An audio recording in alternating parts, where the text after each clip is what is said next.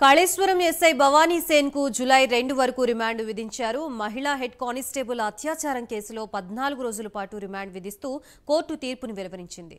భూమాలపల్లి నుంచి ఖమ్మం జైలుకు నిందితుడిని పోలీసులు తరలించారు. దాంతో పద్నాలుగు రోజుల పాటు ఖమ్మం జైల్లో ఎస్ భవానీ సేన్ను పోలీసులు ఉంచనున్నారు.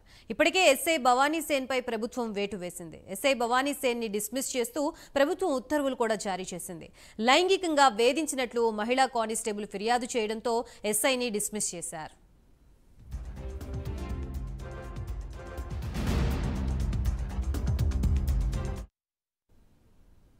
పోలీస్ స్టేషన్లో విధులు నిర్వహిస్తున్న ఓ మహిళా కానిస్టేబుల్ పై వరుసగా అత్యాచారానికి పాల్పడినట్లు ఆరోపణలు వచ్చాయి.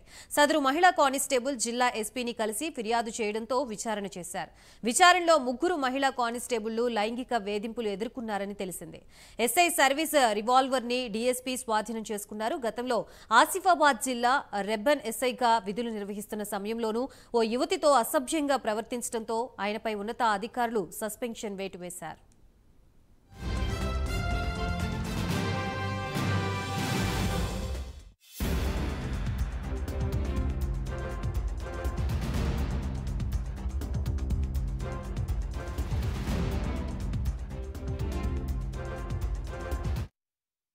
రైట్ కాళేశ్వరం ఎస్ఐ భవానీ సేన్కి జులై రెండు వరకు రిమాండ్ విధించినట్లుగా తెలుస్తోంది. ప్రశ్న ఇదే అంశానికి సంబంధించి మనకి పూర్తి సమాచారం అందించడానికి మా ప్రతినిధి తిరుపతి సిద్ధంగా ఉన్నారు. తిరుపతి.